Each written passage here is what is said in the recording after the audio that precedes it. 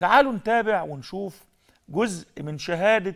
المشير حسين طنطاوي نفسه وهو عميد في احتفالات أكتوبر وهو بيتكلم على بطولات وأفعال وأعمال وتضحيات وتحديات الفرقة 16 اللي قابلت بلاء حسنا في حرب أكتوبر 73